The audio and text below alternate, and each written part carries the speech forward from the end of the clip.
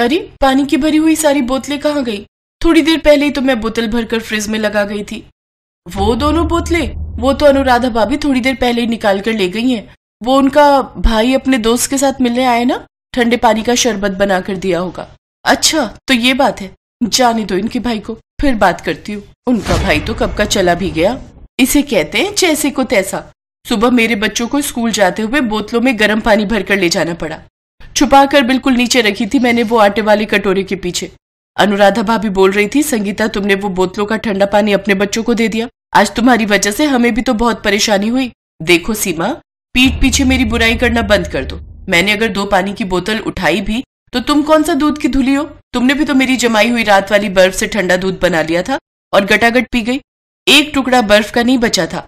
ये मुझे बोल रहे थे कि उनके लिए शिकंजी बना दू बर्फ़ डालकर, पर मज़ा आले फ्रिज में एक टुकड़े बर्फ़ की रखी हो। देखो भाभी, फालतू बहस पर मत उतरो। बोलना मुझे भी आता है। अगर आपको ज़्यादा ही शौक है तो घर में ले लेते हैं ना एक और नया बड़ा डबल डोर फ्रिज इस पुराने फ्रिज में ना पानी ठंडा होता है, ना बर्फ़ जमती है। आप सब जो मर्ज़ी करो। लड़ो, झगड़ो। मैं ये अपनी दो बोतल फ्रिज में रख कर जा रही हूँ। कोई मेरी बोतलों को हाथ नहीं लगाएगा। हम्म?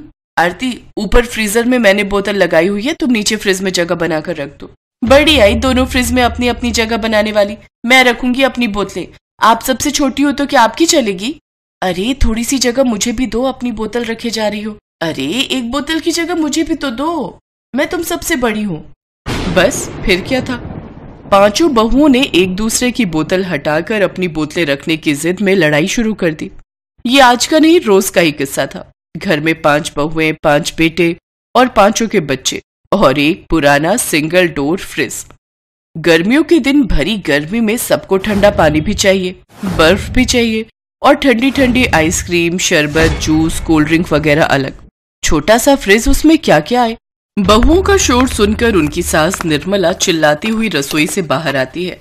उनके हाथ में दूध का भरा हुआ पतीला था। अरे, ये दूध का पतीला किसने फ्रिज में से निकाल कर बाहर रखा? सारा दूध खराब हो गया। एक कप चाय बनाई थी, वो भी फट गई। तुम सब आपस में ही लड़ती रहना और फ्रिज में रखा हुआ सामान खराब कर देना। किसने दूध का पतीला बाहर निकाला था? पहले मुझे ये बताओ। कोमल, मैंने तुमसे कहा था कि दूध फ्रिज में रख देना। तुम्हें याद नहीं रहा? आपको पता है ना, भाभी, उस समय मैं रोटियाँ सेक रही थी। गर्मियों में दोपहर में रोटी बनाना कितना मुश्किल है। आप सबने तो अपने अपने काम बांट लिए। मेरे हिस्से में दोपहर में रोटी सेकने का काम दे दिया। मेरे लिए तो मुश्किल होती है ना? मैंने संगीता को बोला था, कोमल भाभी तो मैं भी कौन सा खाली होती हूँ? फ्रिज में इतनी सारी कटोरियाँ इकट्ठी करके रखी हुई थी। उन्हें बाहर रखकर जगह बना रही थी। एक ही फ्रिज में ना जाने क्या क्या भर देते हो आप सब। कम से कम एक घंटा लग गया मुझे फ्रिज को साफ़ करने में। अच्छा तो बात सामने आ ही गई। तुमने दूध फ्रिज में रखा, फिर जब साफ़ करने लगी तो पतीला वापस रसोई में रख दिया, और उसके बाद पतीला फ्रिज में गया ही नहीं। एक बार फिर पाँचों बहुएँ फ्रिज के लिए लड़ने लगी। मैं काम करते हैं ना, बड़ा डबल डोर फ्रिज ले ही लेते हैं। छोटे फ्रिज से काम नहीं चलता। नहीं बेटा, तुम पाँचों को नहीं जानते। इस घर में एक फ्रिज की जगह अगर पाँच फ्रिज भी आ जाए ना, तब भी ये ऐसे ही लड़ती रहेंगी। जब तक ये सब लड़ना नहीं छोड़ेंगी, तब तक इस घर में नया फ्रिज नहीं आएगा। मैंने जो कहना था, सो कह दिया। फिर क्या था? पाँचों बहुओं की आवाज़ ऐसे बंद हो गई, जैसे सबको सांप सूंघ गया हो। अब तो पाँचों बहुओं के दिमाग में एक ही बात आ रही थी कि कोई भी एक दूसरे से नहीं लड़ेगा। अब तो पूरे घर में ऐसे सन्नाटा रहता था, मानो परिंदा भी पर मारे तो पता चल जाए। मम्मी फ्रिज में पानी की एक भी बोतल ठंडी नहीं है। मुझे ठंडा पानी पीना है। कोई बात नहीं चीनू। तुम अभी ये वाला पानी पी लो ये ये ये हल्का ठंडा है। अरे चीनू बेटा ये लो ठंडी बोतल। ऋषि ने अभी अभी फ्रिज से निकाली है। मम्मी वो पानी मैंने निकाला था। आपने चीनू को क्यों दे दिया? ला चीनू मेरी बोतल वापस दे। अनुराधा और आरती दोनों के बच्चे आपस में लड़ने लगे। ठंडा पानी तो किसी के हाथ में आया नहीं। उल्टा पानी की बोतल का ढक्कन खुल गया और पूरे आँगन में कीचड़ ही कीचड़। अब तो सब बहुओं के बच्चे धमाल चौकड़ी मचाने लगे। अब सारी बहुएँ अपने अपने बच्चों को संभालती फिर रही थीं। उन्हें डर था कि अगर उनकी सास ने बच्चों को आपस में लड़ते हुए, शोर मचाते हुए देख लिया तो फिर से एक बार इस घर में नया फ्रिज आने से रहा। माँ जी मंदिर से आ गई और उन्होंने इन सबको लड़ते हुए देख लिया तो इस घर में नया फ्रिज नहीं आएगा। बच्चों आपस में लड़ना बंद करो, नहीं तो दादी माँ नया फ्रिज नहीं आने देंगी। लगता है माँ जी आ गई हैं। बच्चों, तुम्हारी दादी माँ आ गई है। सब शांति से बैठ जाओ। उर्मिला जैसे ही घर में घुसी, वो हैरान रह गई। लगता है मैं किसी गलत घर में आ गई हूँ। नहीं, घर तो मेरा ही है, पर आज सूरज किधर से निकला है? पहले जब भी मंदिर से लौटती थी तो घर का वातावरण ऐसा होता था जैसे जंग का मैदान। पर आज तो यहाँ की हवा ही बदली हुई है। हम्म लगता है ये सब मेरी कही हुई बात का असर है। पहली बार पाँचों बहुओं को एक साथ रसोई में बिना लड़ाई किए काम करते देख रही हूँ। चलो अच्छा है। मेरी बात का कुछ तो असर हुआ। अब तो अगले कुछ दिनों तक घर में कोई लड़ाई नहीं हुई। बच्चों ने भी शैतानी करनी बंद कर दी। अब तो उर्मिला को बहुत अजीब सा लगने लगा। पहले तो बच्चों की चहल पहल से घर में रौनक रहती थी। अब बच्चे भी चुप चुप रहने लगे। फ्रिज में पानी की आज फिर कोई बोतल नहीं रखी। मुझे फिर गर्म पानी लेकर जाना पड़ेगा। पर मैं मम्मी को इस बारे में बोल भी नहीं सकता। अगर मैंने ये बात मम्मी को बोली तो दादी इस घर में नया फ्रिज नहीं आने देगी। कोई बात नहीं, मैं गर्म पानी लेकर ही चला जाता हूँ। ऋषि भैया, आधा पानी मेरे से ले लो। मैं आधी बोतल ठंडे पानी के ले जाऊँगा। मैं स्कूल से भर लूँगा। चारू, तुम भी मेरे में से थोड़ा सा पानी ले लो। नहीं तो फिर तुम मेरी मम्मी को बोलोगी और वो गुस्सा करेंगी। फिर दादी को पता चल जाएगा कि हमने लड़ाई की है। नहीं भैया, मैंने और साक्षी ने आधा आधा ठंडा पानी बांट लिया है। अपने सभी पोते पोतियों की मासूम बातें सुनकर उर्मिला की आँखें भर आती हैं और फिर अगले दिन कौन है? रुको आती हूँ। मैडम ये फ्रिज लेकर आए थे। हमने तो कोई फ्रिज ऑर्डर नहीं किया भैया। मैडम एड्रेस तो यहीं का लिखवाया हुआ है ये देखिए। हाँ एड्रेस तो यहीं का है पर अनुराधा बहू इतना हैरान होने की कोई ज़रूरत नहीं है। ये फ्रिज मैंने ही ऑर्डर किया है। अरे तुम सभी तो कहते थे कि नया फ्रिज ले लो नया फ्रिज ले लो। बस फिर क्या था? घर में सबकी खुशी का ठिकाना ही नहीं था। इतना बड़ा फ्रिज कि ढेरों सामान उसमें आ जाए। सब बहुत खुश थे। अब घर में नया फ्रिज आ गया था। जितनी मर्ज़ी पानी की बोतलें रखो, ठंडी बर्फ़ जमाओ, ढेरों सामान उसमें सेट हो जाता था। गर्मियों में कोई दिक्कत ही नहीं थी। बड़ा परिवार, बड़ा फ्रिज। पर कुछ आदतें कभी नहीं बदलती, जब तक हम उन्हें बदलना न चाहें। अरे, अब तो नया बड़ा फ्रिज आ गया है। फिर भी इसमें एक भी ठंडे पानी की बोतल नहीं रखी। ये देखो, सब खाली बोतलें रखकर चले गए। संगीता, मैंने तुम्हें कहा था ना कि फ्रिज में पानी की बोतलें तुम भर कर रख देना। मैंने तो अरे, अब बस भी करो। अब फिर से तुम पाँचों का युद्ध शुरू हो जाएगा। पहले कहती थी, बड़ा फ्रिज लाओ, बड़ा फ्रिज लाओ। अब बड़ा नया फ्रिज आ गया, तब भी तुम सबकी वही समस्या है। असली समस्या को ढूंढो, सब ड्यूटी बांधो। फ्रिज में पानी की बोतलें भरकर रखने की, और समय पर सामान फ्रिज में रखने वाला खराब ना हो। वो भी फ्रिज में रखने की। और हाँ मेरी पाँचों बहुओं के साथ साथ पाँचों बेटों को भी मैं यही कहूँगी कि बोतलें भरने की ड्यूटी पकड़ो। और बच्चों तुम सब भी। अब मैं भी जब कोई खाली बोतल देखूँगी तो फ़ौरन भरकर फ्रिज में रख दूँगी। जब तक हम खुद में सुधार नहीं लाएँगे जितनी मर्ज़ी चीज़ें घर में आ जाएँ, उनकी संभाल करना मुश्किल है। उस दिन हर कोई अपनी अपनी ज़िम्मेदारी समझ गया। और उस दिन के बाद जिसको भी मौका लगता अपनी अपनी पानी की बोतल फ्रिज में भर कर रख देता। समय पर सामान फ्रिज में रखा जाता। समय पर फ्रिज की सफ़ाई होती तो उसमें सामान रखने के लिए बेहतर जगह बन जाती। पुराना फ्रिज बहुत खराब हो गया था, इसलिए उसे बेच दिया गया।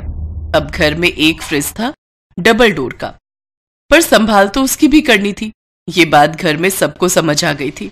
इसलिए उस दिन से उस एक फ्रिज को लेकर घर में कभी कोई लड़ाई नहीं हुई। सुबह के छह बजे होते हैं कि तभी नीतू अपने पति को उठाने की कोशिश करती है। अरे क्या होगा? आज संडे है। आज तो देर तक सोने दो। अरे चलो उठ भी जाओ ना। अभी सभी घर वाले सो रहे हैं। उनके उठने से पहले हम जल्दी से कराते हैं। अरे क्या कराते हैं? तुम्हें जो करना है अकेले कराओ। लेकिन मुझे अभी सोने दो। क्यों टाइम वेस्ट कर रहे हो? जल्दी से चलो नहीं तो सारा दिन लाइन में ही खड़े रह जाओगे। अरे ज़बरदस्ती है क्या? जब आ ही नहीं रही तो जाकर करूँगा क्या? अब तुम निकलो यहाँ से और मुझे सोने दो। ओहो अगर इनके चक्कर में रही तो मैं भी पेट पकड़कर ही बैठी रह जाऊँगी। इसके बाद नीतू पेट पकड़ते हुए जल्दी से अपने कमरे से भागकर बाथरूम की ओर जाती है तो देखती है कि उसकी दोनों जेठानियाँ और छोटी देवरानी पहले से ही बाथरूम के बाहर खड़ी होती हैं। अरे यार लेट हो गई। लगता है और जल्दी उठना चाहिए था। नीतू को देखकर उसकी देवरानी कहती है, आओ दीदी, जल्दी से आकर लाइन में लग जाओ। पर अगर तुम सब बाहर हो तो फिर टॉयलेट में है कौन? और कौन होगा मम्मी जी के सिवा? निधि ज़ोर ज़ोर से दरवाज़ा पीटते हुए कहती है, अरे मम्मी जी आप कहीं सो तो नहीं गई। जल्दी से बाहर आ जाओ, यहाँ लाइन लगी पड़ी है। निधि ये कही रही होती है कि तभी शीला उनकी सास टॉयलेट से बाहर आती है। उसके बाहर आते ही मंच बहू नीतू पेट पकड़कर पीछे से भागते हुए आती है और लाइन तोड़कर टॉयलेट में घुस जाती है और झट से दरवाज़ा बंद कर देती है। ये सब देखकर बाकी सब हैरान रह जाती है। तभी सबसे बड़ी बहू राखी ज़ोर ज़ोर से दरवाज़ा पीटते हुए कहती है अरियो नीतू की बच्ची, जल्दी से बाहर निकल। मेरा नंबर था, तू कहाँ से बीच में घुस गई? निकल निकल ना अरे, क्यों दरवाज़ा पीट रही है? उसको तोड़कर ही मानेगी क्या? और अब वो अंदर गई है तो पेट की गंदगी निकाल कर ही बाहर निकलेगी। और जब मैं अंदर थी, तब भी तुम में से कोई दरवाज़ा पीट रहा था। तुम सब जानती हो ना, बुज़ुर्ग लोगों को कब्ज की शिकायत रहती है। अगर आपको कब्ज की शिकायत रहती है तो सुबह जल्दी उठकर फ्रेश हो जाए कीजिए। आपकी कब्ज के चक्कर में तो हम लोगों के पेट के बुलबुले उठने लग पड़ते हैं। ये सब बातें छोड़ो, मम्मी जी। अब ये बताओ कि कब तक हम ऐसे ही एक टॉयलेट में जाते रहेंगे। उम्र भर ऐसे ही जाना होगा। क्या मतलब? मतलब ये कि शुक्र मनाओ, तुम लोगों को एक टॉयलेट तो नसीब हुआ। हम तो अपने गाँव में खुले में शौचालय जाते थे, और खुले में जो जाने का मज़ा है, ओए होए होए होए होए। इतना कहते ही शीला चुप हो जाती है। पर मम्मी जी, आपकी इतनी सारी बहुएँ हैं, आपको दो टॉयलेट तो बनवाने ही चाहिए ना? आई, बड़ी दो टॉयलेट वाली। ये घर है, कोई तेरे बाप का होटल नहीं जो दो दो टॉयलेट चाहिए तुम्हें। मम्मी जी, पर जैसे यहाँ लाइन लगी है ना, ये किसी के घर का टॉयलेट नहीं, बल्कि किसी चौल का सुलभ शौचालय मालूम होता है। हाँ बस इसका ये एक सुख है कि हमें धोने के लिए बाल्टी और मग्गा लेकर नहीं आना पड़ता। निधि बोल ही रही थी कि तभी वहाँ खड़ी राखी ज़ोर से बदबूदार गैस छोड़ती है। उसकी बदबू से वहाँ खड़े सभी अपनी नाक पर हाथ रख लेते हैं। उसके ऐसा करते ही शीला कहती है हाय मोरी मैया। ना जाने क्या ठूसा था इस कमबखत ने रात में जो इतनी गंदी बदबू निकाली है। मम्मी जी, जिस घर में चार बहुओं का एक टॉयलेट होगा, वहाँ तो ये सब झेलना ही पड़ेगा। फिर राखी दोबारा से दरवाज़ा पीटते हुए कहती जल्दी से बाहर निकल मेरी माँ, अब तो बर्दाश्त से बाहर है सब कुछ। ये कहकर राखी फिर से दरवाज़ा पीटने लगती है। शीला देवी की जॉइंट फैमिली थी जिसमें उसकी चार बहुएँ थी और चार बेटे थे, और उन सबके लिए केवल एक ही टॉयलेट था। सारा घर एक ही टॉयलेट यूज़ करता था। वैसे कहने को तो उस घर में दो टॉयलेट थे, लेकिन दूसरे टॉयलेट की सीट टूट रखी थी और फ्लश पूरी तरह खराब था, जिस वजह से कोई उसे यूज़ नहीं करता था। बेचारी सारी बहुओं का आधा दिन तो टॉयलेट में अपनी बारी आने के इंतज़ार में ही गुजर जाता, और ऊपर से अगर गलती से कोई मेहमान घर पर आ जाए, तब तो समझो हो गई छुट्टी। ऐसे ही एक दिन दरवाजे की घंटी बजती है। तभी नीतू दरवाज़ा खोलती है। मैडम रश्मि जी का पार्सल आया है। रुको मैं अभी उसे बुलाती हूँ। रश्मि? अरे ओ रश्मि जल्दी आ देख तेरा पार्सल आया है। आई दीदी। जी लीजिए। पार्सल देकर कुरियर बॉय वहाँ से जाने लगता है। तभी वो रुककर उन दोनों से कहता है। अगर आप बुराना मानो तो क्या मैं आपका टॉयलेट यूज़ कर सकता हूँ? लेकिन क्यों? क्यों मतलब ये तो नेचर कॉल है कभी भी आ सकती है। और इस वक्त मेरे लिए जाना बहुत अर्जेंट है। दीदी अभी कोई होगा तो नहीं ना टॉयलेट में। मैं क्या जानू रश्मि? लेकिन अब अगर इसे ज़ोर की लगी है तो कर भी क्या सकते हैं? ले जाओ इसे। रश्मि इसको टॉयलेट की तरफ़ लेकर जाती है। लेकिन जैसे ही कुरियर बॉय दरवाज़ा खोलने की कोशिश करता है तो वो अंदर से बंद होता है। इतने में अंदर से आवाज़ आती है। अब कौन है बे? कम से कम यहाँ तो चैन से बैठने दो सुबह जाने नहीं देते, दिन में भी परेशान करके रखा है। अब तो जब तक कार्यक्रम पूरा नहीं होता, मैं बाहर नहीं आऊँगी। अरे दीदी, धीरे बोलो। अगर गलती से किसी ने सुन लिया तो क्या सोचेगा? सुनने दो अगर कोई सुनता है तो। कम से कम औरों को भी तो पता चले कि कैसी जालिम सास है हमारी जो चार चार बहुओं के लिए सिर्फ़ एक ही टॉयलेट रखा हुआ है। इसके बाद रश्मि उस आदमी से कहती है जी माफ़ कीजिएगा लेकिन आपको थोड़ा वेट करना होगा। कोई बात नहीं जी मुझे इनके जितनी इमरजेंसी भी नहीं है। ये कहकर वो आदमी क्रॉस लेग करके खड़ा हो जाता है लेकिन काफ़ी देर इंतज़ार करने के बाद भी जब निधि बाहर नहीं आती तो वो आदमी जल्दी में वहाँ से निकलने लगता है कि तभी रश्मि पीछे से आवाज़ देते हुए कहती है अरे रुकिए तो कहाँ जा रहे हैं आप? आप वो काम पूरा करके ही जाइए। नहीं करना मुझे कोई टॉयलेट अगर मैं ऐसे ही वेट करता रहा तो मेरी पैंट यहीं गीली हो जाएगी। इससे तो अच्छा होगा मैं बस स्टैंड पर बने सुलभ शौचालय में चला जाऊँ। ये कहकर वो आदमी वहाँ से भागता हुआ चला जाता है। रश्मि अपना सर पकड़कर बैठ जाती है। कुछ महीने ऐसे ही बीतते चले गए लेकिन टॉयलेट की समस्या ज्यो की त्यों बनी रहती है। एक शाम जब शीला घूमने गई होती है तभी चारों बहुएँ बैठकर रोज की इस परेशानी का हल ढूँढने के विषय में चर्चा करती हैं। हे भगवान, अब क्या दिन आ गए? हमारी जो सास की चुगलियाँ छोड़कर टॉयलेट के ऊपर चर्चा करने बैठे हैं हम। सब हमारी सासू माँ का किया धरा है। वो सब तो ठीक है, लेकिन अब ये सोचो कि कैसे हम अपनी सास को दूसरा टॉयलेट भी ठीक करने के लिए मनाएँ। ऐसे तो मानने से रही। हमें कोई तरकीब सोचनी पड़ेगी जिससे सांप भी मर जाए और लाठी भी ना टूटे। हम्म वैसे मेरे पास एक आइडिया है। क्यों ना हम में से एक का पेट खराब कर दिया जाए, जिससे सारा दिन उसका टॉयलेट में ही बीते। फिर जब मम्मी जी को टॉयलेट यूज़ करने नहीं मिलेगा, तभी उन्हें दूसरे टॉयलेट की अहमियत समझ में आएगी। वो तो ठीक है, पर किसका पेट खराब करे? तू अपना कर ले। मैं तेरे लिए जमाल गोटा लाई देती हूँ। वाह जी वाह, ये क्या बात हुई? मान न मान, मैं तेरा मेहमान। अगर मुझे टॉयलेट में जगह ना मिली तो मेरा तो हो जाएगा ना वही काम तमाम। ऐसा करो, आपका आइडिया है, आप पर ही आजमा कर देखते हैं इसे। ना बाबा ना। ओहो, हम सब क्यों अपना पेट खराब करें? जिसकी वजह से ये परेशानी हो रही है। उन्हीं का खराब करते हैं।